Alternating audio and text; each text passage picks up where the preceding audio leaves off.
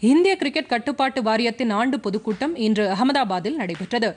இந்த கூட்டத்தில் கிரிக்கெட் வாரிய துணைத் தலைவராக ராஜீவ் சுக்லா பொறுப்பேற்றுக் கொண்டார்.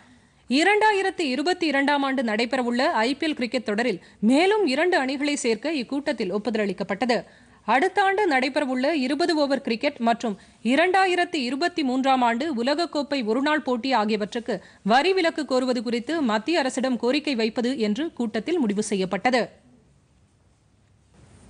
பொதிகை செய்திகளை யூடியூபில் தமிழ் நியூஸ் தூர்தர்ஷன் என்ற சேனலிலும் முகநூலில் டிடி பொதிகை நியூஸ் என்ற பக்கத்திலும் ட்விட்டரில் டிடி நியூஸ் சென்னை என்ற பக்கத்திலும் இன்ஸ்டாகிராமில் டிடி பொதிகை நியூஸ் என்ற பக்கத்திலும் காணலாம். மேலும் உங்கள் கருத்துக்களை Pothigai DD news at Gmail dot com என்ற மின்னஞ்சலில் தெரிவிக்கலாம்.